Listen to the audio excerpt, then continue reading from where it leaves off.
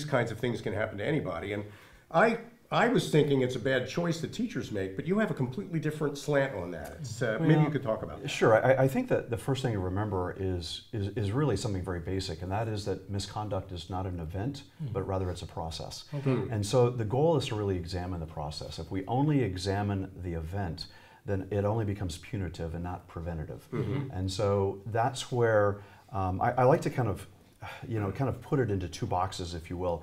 Um, th- there is there is this notion of, of conduct and laws, and that is kind of this red box. But but most teachers are not in that box, and nor do they cross that line. But right to the left of that is this gray box, if you will, filled with the myriad complexities that teachers face. And within that, that is the process. So there are all kinds of things that, that might lead a really effective teacher to be right on the edge between the gray and the red, if you will.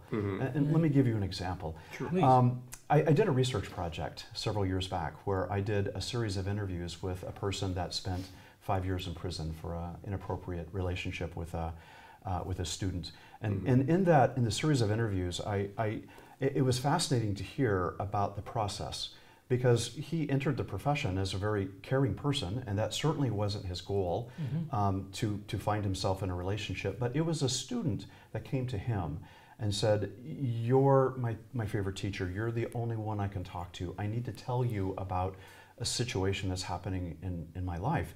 And of course, being the caring, compassionate person that he is, like most teachers are, then of course he said, Yes, absolutely. Well, that turned into one lunch hour, which turned into another lunch hour, which turned into before school and after school. And not being trained in that expansive role beyond being a teacher, not being trained as a, as a counselor or, or understanding the dynamics that, that are at play here, um, he made some critical mistakes. And one of them was being transparent about his own life and, and things that he has gone through. And that changed the relationship. So it became, uh, instead of a teacher student dyad, it changed that dyad completely. Change Right. into a, a Yeah, different kind of, yeah, uh, more of a peer exactly. conversation. Like peers, Sure, yeah. and, and it never was about sex at all. That's interesting. And in fact, as a 51 year old teacher and a 14 year old student, it, that was not even the issue. Um, and, and so, and when we look at when we look at misconduct as a process, what it does is it gives us the chance to look in all of the areas in the vulnerabilities and the risks that teachers face every day hmm. in their life because they care.